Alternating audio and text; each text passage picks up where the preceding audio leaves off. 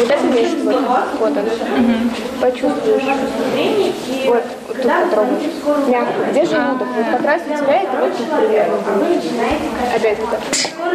Сильнее. Этими навыками должны владеть не только медики, но для учащихся этой специализации такие приемы особенно необходимы. Учебный год студентов-первокурсников в Самарском колледже имени Ляпиной начался с интерактива. Во время квест-игры «Антитеррор» ребятам рассказывали о том, как обезопасить себя в транспорте и на улице, что делать с оставленным предметом и как вести себя во время чрезвычайной ситуации. Также учащиеся старших курсов проводили мастер-классы по непрямому массажу сердца и приему Хеймлиха. Акцию в учреждении приурочили ко Дню солидарности в борьбе с терроризмом. Я считаю, что это не только в профессии поможет, но, в принципе, в будущем, в каких-нибудь чрезвычайных ситуациях.